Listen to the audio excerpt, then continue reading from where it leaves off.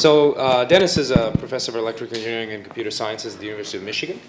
He finished his uh, PhD in Professor Hu's group, uh, also in the late 1990s. And his research covers various topics related to the design of millimeter scale computing systems and energy efficient computing. Uh, he's previously held positions at Synopsys and HP Labs and was a visiting professor at, the, at NUS. And his talk is entitled Towards Nanowatt Computing. Thanks, Vivek. so it's a great honor to be here at the invitation of uh, Chen Ming to speak at this symposium in his honor. So um, I'm going to start actually with this. Uh, getting close to the end of the day, so I, I put together one slide um, with a lot of content, but uh, one slide on things I learned from Chen Ming.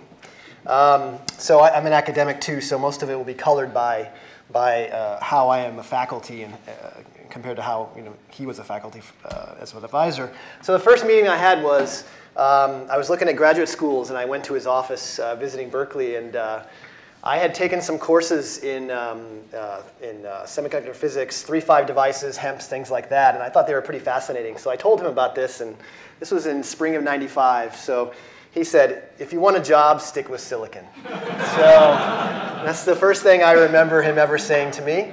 Uh, and I certainly, yeah. And it's funny to see the talks today with Yichao's talk and some others with all of the III-V content that's coming in to the, the, the silicon uh, substrate, so to speak. So interesting, but uh, I, I, like to tell that one to, to, to students actually in my classes. Um, so uh, the biggest thing probably is that research is fun. Actually, another thing is I came into uh, to Berkeley as a terminal master's student initially. So I was going to be there for two years, do a master's project in his group, and then move on to industry. So that was around 97 would have been when I finished. And, and around that time, things were really taking off in the valley, right? I mean, basically all the students who came in with me in the mid 90s uh, had intended to do PhDs, and then they all fled to industry. And I did the other way around. I said, you know what, research is really fun. I'm enjoying what I'm doing and I'm, I'm going to stay. So I kind of did things a little bit backwards there because of, because of the, the group uh, dynamic, so to speak. Um, some other things, uh, I'll go through some of these more quickly. I know we're a little bit behind schedule uh, uh, right now. So, you know, what to spend time on. One of the things that I learned was, and, and that I impart to my students when they're getting toward the end of their degrees and they they say, well, I don't know if I can take on another thing right now. I'm, i have to write my thesis. And I say, well, you know what? Your thesis is, is you know, no one's going to read that thesis probably, you know? you know? Don't spend time polishing your thesis. Spend time on new ideas and, and really, you know, making the impact. So that's something that he told me that I, that I now tell to my students.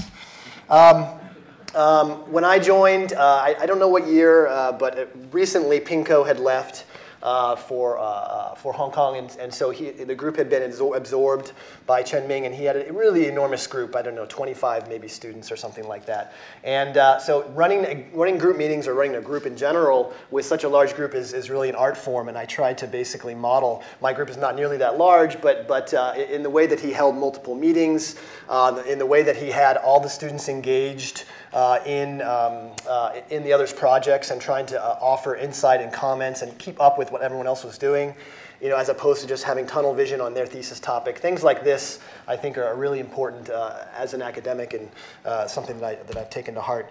And, and, and so what this one means is that, you know, I didn't work on the FinFET. I was there during the FinFET years, uh, but I didn't work on the FinFET. But, but that's not what I mean here. What I mean here is that you know, not every experiment goes as planned and becomes the next great you know, contribution to the, to the field. And that's okay. Uh, you know, hopefully some things do go that route, uh, uh and they do.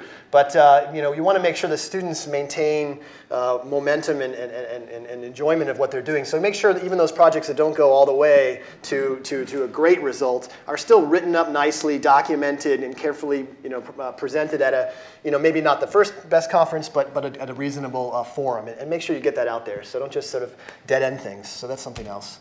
Um, empower your students early and often. So he got people engaged. This wasn't just me, it was everyone really in, in things like reviewing journal submissions early on and, and learning that process. Uh, obviously doing student internships Uh, the funny story is actually when I when I take taken the position uh, in the spring uh, for the following fall from from Chen Ming, uh, he had, he said, well, you know what? I can actually get you a job at Intel this summer. There's an opening, and you can go and work out here. And I, I was in Michigan at the time, and uh, I'd already taken a job um, doing some more menial work, not actually designing chips or doing whatever I would have done at Intel. And I felt embarrassed to tell him that, but I said, well, you know, I can't do it. But uh, um, but but you know, already as a as a pre first year student, he was already get, you know landing me opportunities opportunities. So, um, so these are things that you want to basically give as much responsibility to students as you can. And then this last thing is just, uh, I still remember the papers. This was, again, 25 students. So must have been putting out about 50, 60 papers a year probably at that time producing. And I still remember all the red marked up documents where I would give him a hard copy of my paper and he would bring it, would bring it back to me with all these comments. So he did that for all the papers, showing that basically you can be hands-on in a large group, but you can also be hands-off and not be overbearing with, uh, with your students, and he did that uh, uh, perfectly. So, um, and then how to name a softball team. This, these were the Hot Electrons. So I, I, didn't name this. This was a name before I came in. There was a team name called the Hot Electrons. So uh, you can see a few people here. Uh, Steven's there, Stephen Tang, Bruce McGaughy's there, Nick Who's not here, is in there. And uh, Ye Tung, who is one of Tsu-Jae's first students, is in there as well. And a few other people who are actually good players, the ringers we brought in to help us win, that weren't necessarily in the, in the device physics community. But, um, but this, was a, this was a fun time. So hopefully this uh, softball's still going, hopefully, and alive in, in, in EECS graduate students. So, um, so I'll talk a little bit now about, about you know, the main topic I'm here to talk about.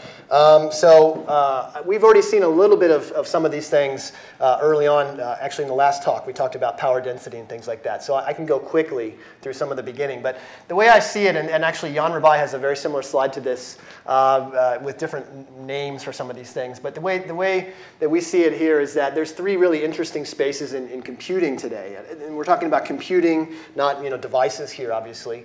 Um, but we've got the cloud and, and, and all the interesting data centers and things like that that are going on, um, where uh, the last talk talked about the, the, the, highest performance computer in the, in the United States. Um, uh, mobile computing, which is an exciting area uh, we're all very familiar with. We all have a phone in our pocket. Um, and then this, the sensors themselves, and I'm going to talk more about this here, this ubiquitous computing concept. Um, and these are all different, you know, different levels of performance, different levels of power consumption, different volumes. There aren't that many server processors sold. They're, they're sold at a very large margin and a very large uh, uh cost. Uh, but there are a lot more cell phones out there, a billion units a year. Um, so in that middle circle, you might have a billion units a year or order billions of units a year. Whereas in the center uh, of the circle, it would be much, much smaller. And in the outer rim here, it's emerging, so it's not there yet, but you can imagine that that number can be much, much greater than billions because you've broken that one-to-one -one paradigm. A phone has a user. A sensor you know, in a building doesn't have a user. You can have 100 devices or, or 1,000 devices for every person on the planet. You'll never have that for mobile computing. You'll never have more than a couple.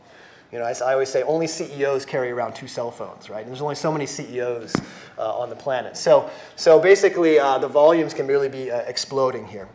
So the power problem was nicely illustrated in the last talk. So I'm not going to talk too much more about it here. Uh, we know supply voltages are stagnating. Uh, they're a little bit below a volt maybe, but not a lot below a volt. Maybe you're talking 0.9. Um, I think I think more realistically, they're still around a volt typically in, in modern high-end process, uh, high-end processors. Um, and then you've got this issue on the right where you say, well, okay, the density is still really improving, and this was the point from the last slide, from the last talk, so I don't need to belabor it, but the density is really doing well, uh, but the power density is, is not, and so for the energy density is doing worse. So basically, you get this paradigm, and it's been called dark silicon, if you've heard that term. ARM likes to use that term, among others, um, which is basically where I can fit lots and lots of transistors on a chip, um, but I can't necessarily use them all to their full extent because the power consumption would be just too, too high. Um, and so then I have to basically only use some at a time, and that's this dark silicon. Some parts of it are, are, are dark or unused.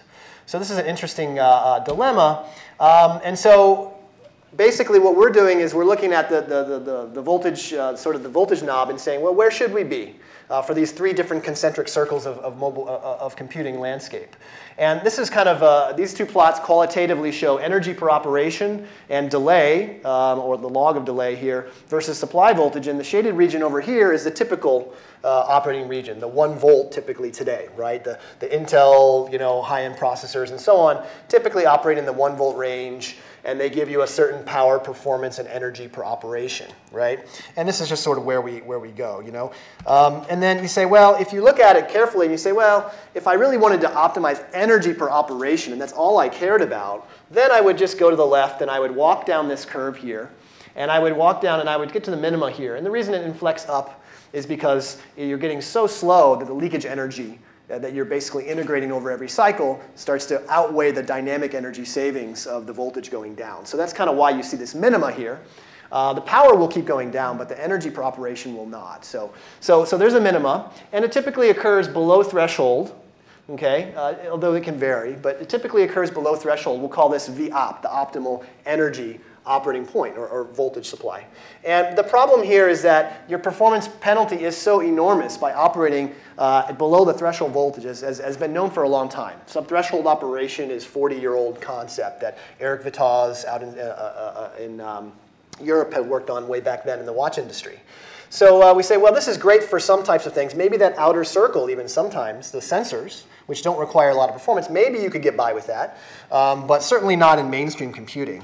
Now, if we do back off, you can see the trade-offs get more favorable because you're in a minima here, and it's not drawn completely to scale, but the minima is fairly shallow. So if I move over a little bit, I only give back a little bit of my energy savings, but I also gain back a whole lot because it's exponential and it's steep of my delay degradation. So if I operate somewhere in this sort of above threshold, but not much above threshold, and we'll call it near threshold. If we operate in this near threshold regime, we have a much better balancing point or trade-off point between the energy per operation. We're still much better than the one volt case, but our delay is only maybe, let's say, only, let's say, five or 10 times worse. Still pretty bad if you're talking about really high-end systems, um, but maybe tolerable given the speed of CMOS today, which we heard Ali talk about earlier uh, from the RF perspective.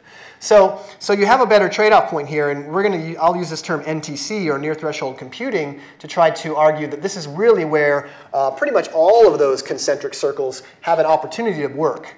Uh, and, and they're all power constrained in different ways. Servers are power constrained by cooling costs and things like that. The mobile space by heating, uh, you know, you don't want to put this really hot phone to your face, and, and of course battery life, right? And sensors are even more power constrained just because the power, so the energy source is going to be so, so small on these sensor nodes. So for different reasons, they all fundamentally become power constrained.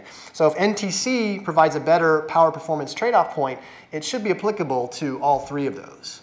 So I, am not going to spend much time on the, on the two inner circles, the cloud and the mobile space. But I will say there has been work both by us and others. This is some of our work on applying NTC to things that could be useful in the cloud or high performance systems. I'm using that as a euphemism here for high performance systems where you care a lot about uh, uh, uh GOPS and, and, and, tera operations per second, gig operations per second, et cetera.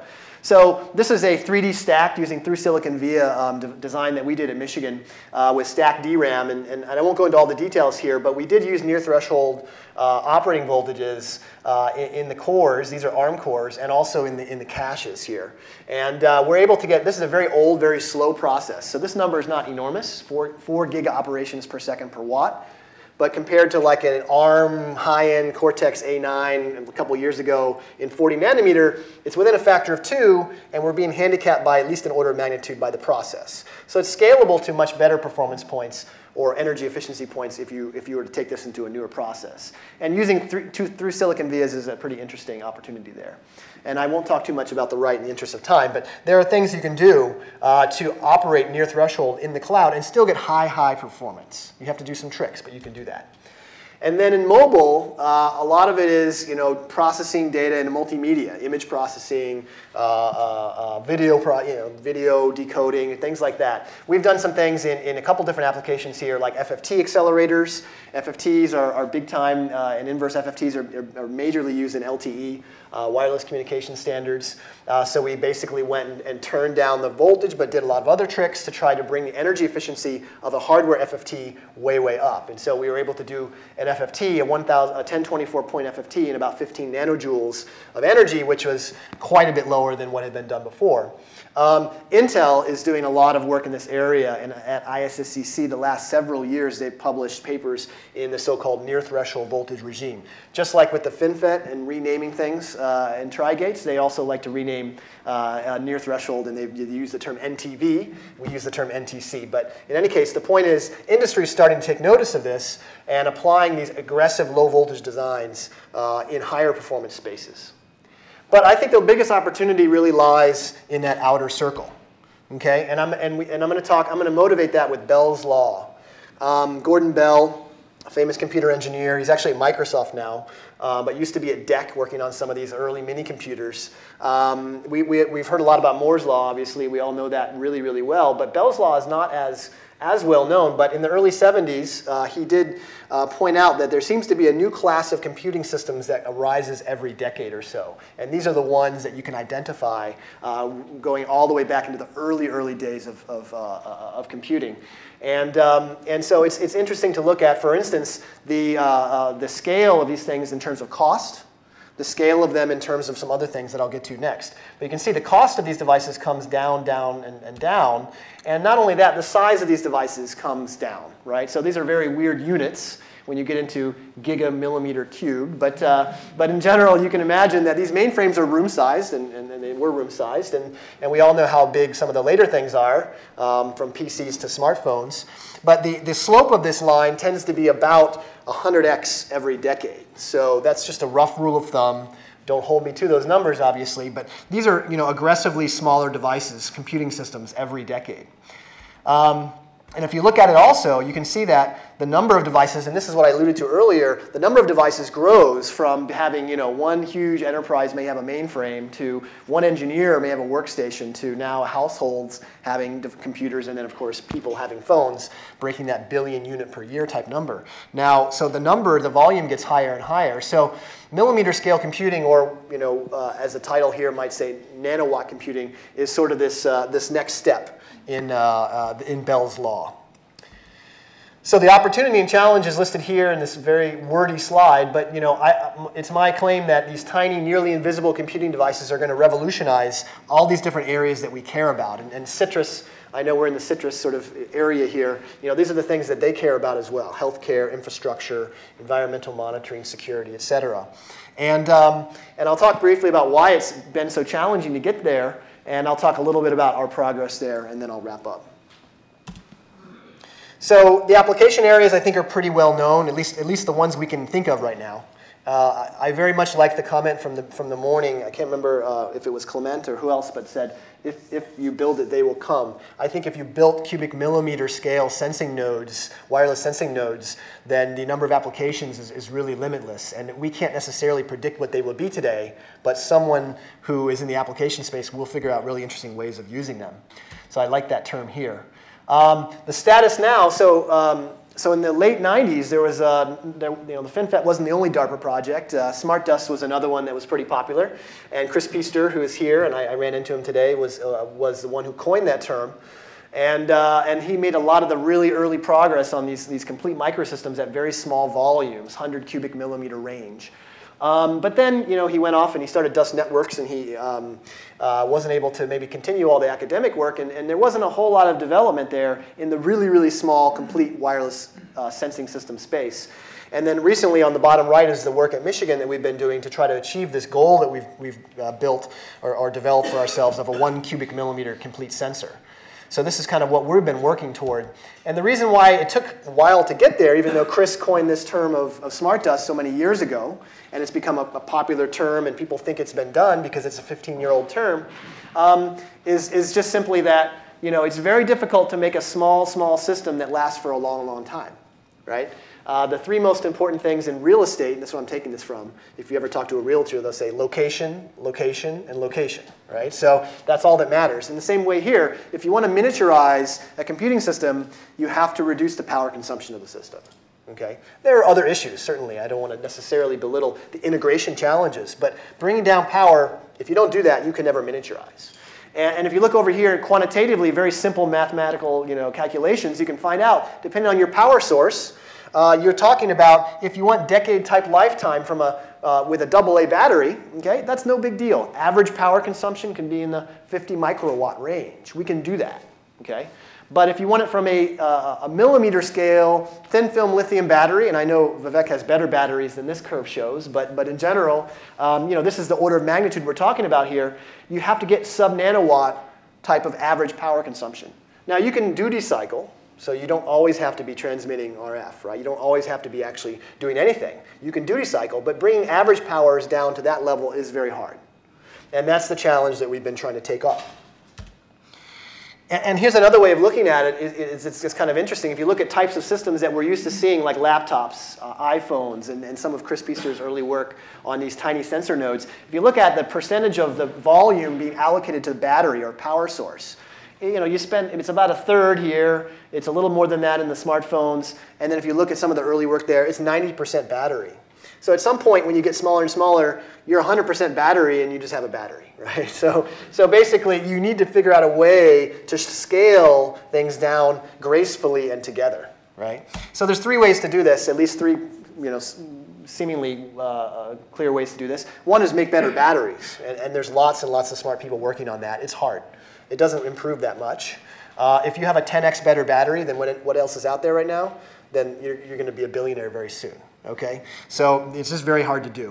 Um, energy harvesting, of course, you know that's very important. It's a hot topic. It has been for a number of years, and it's it's an important part of these types of systems that we're going to build. These cubic millimeter systems, we have to harvest. Okay, no matter how good the battery is, we're not going to last 10 years on, on one charge. So we need to we need to recharge. But, um, but the problem here is we're a little bit limited too. I have, I have slides I usually show with these, but I, it, because the talk is short, I didn't have the ability to show it. But think about it this way. If your solar cell efficiencies, if you're using solar, which is pretty much the best, if you, if you can use solar, you do, um, then maybe you're in 10% range or, or something like that for a small one. Maybe you're better than that, but let's say you're 10 or 15%. Um, so even if by some miracle you made a perfect energy harvesting solar, solar cell, you could at best do six to 10 times better than that, right? At best. And uh, we know that's not even going to be possible. So there are fundamental limits to energy harvesting that we're you know, not super close to, but we're within an order of magnitude of, certainly. Okay? And the third thing is we just make, it the, make the circuits consume less power, make the actual microsystem itself consume less power. And here is where we do have the ability to move down in power consumption by that order or orders of magnitude to make that previous plot work, that, that battery plot work. Okay? And that's why we've been focusing on number three here. So here's a, a, simple block diagram, very high level of all the different components that you have to basically address. We know when we're talking about power consumption, if you focus on the processor and you focus on the, the memory and you bring the power way down and you think, I'm done, then all of a sudden the other thing pops up and, and it says, okay, I'm dominant now.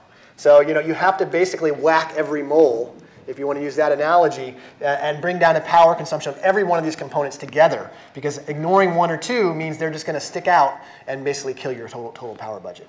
So that's something that we've been trying to do. Um, we've been building systems in academia. It's, it's, a, it's a big challenge to build complex systems. In uh, academia, the integration challenges are significant. Here's one example of a device that we built for an intraocular pressure monitoring system to be put into the eye and measure uh, intraocular pressure for glaucoma uh, diagnosis and management. It is a one and a half cubic millimeter design or device, excuse me. There's three layers of uh, uh, uh three stacks in the system. You can't really see very well because of the the picture is angled. Um, but uh, there's a battery in there. There is solar harvesting in there because it's great. The eye is meant to collect light, so let's use that. Um, and uh, it is an energy autonomous design, which means that if your eyes are open and you're collecting reasonable amount of uh, indoor lighting for 10 hours a day, then you are basically collecting as much energy as you're expending for the operation of the system. So it should last indefinitely, subject to wear out of components, right? Uh, so so it's, a, it's a nice system. It has a wireless readout, uh, short range, 10 centimeter type wireless readout. And then more generally, that's a very application specific example, but more generally, we're building you know, cubic millimeter nodes for, for general sensing. And we're using this stacked platform, and it's a little bit, arca- you know, little bit, little bit quaint, archaic looking with these sort of staircase wire bonds. It'd be great to have TSVs, kind of, but uh, we don't really have access to that, unfortunately, right now. Um, but in general, uh, we are basically using, you know, it's a heterogeneous system. If you want to have a really dense non-volatile memory layer, Uh, you could slide that in in a bare die form as long as you have the as long as you have the wire bond capability to, to bond up. Um, but you want to have your processor in a very low leakage older node, then you can do that as well. So the heterogeneity is a nice advantage uh, for us here.